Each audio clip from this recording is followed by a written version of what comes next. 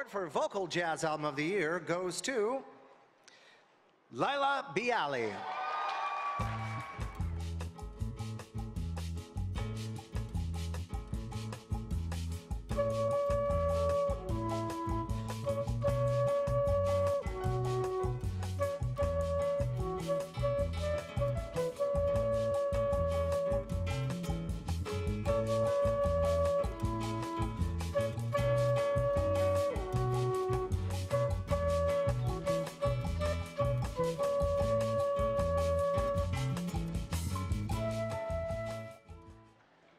I am in shock.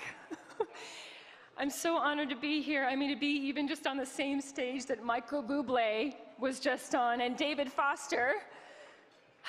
Um, when I first started playing jazz, way back when in high school, there was a lady by the name of Diana Krall, and it was her music that I covered in a talent competition. And so I can't tell you what it means to be nominated in the same category as Diana Krall, who really introduced me to jazz. And Holly Cole, if you're here tonight, I love you. I fell in, your, in love with your music when I was 15. And Diana Panton, you have the voice of an angel. Jodi Proznick, I share this moment with you. You are my soul sister. And I want to say thank you to, I have to, and I want to, Factor. You've been such a supporter over the years. Aaron Kianaga, you're my hero. and um, I don't know what I'd do without you, without Canada Council for the Arts and all those amazing funding bodies.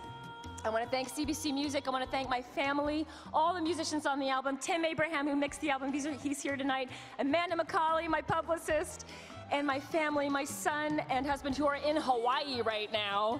Thank you, Ben, my co-producer, my co-pilot and all things. And I want to dedicate this to my friend Wendy Nellis, who I lost last summer to cancer. She was one of the greatest supporters of the arts. Wendy, this is for you. Thank you.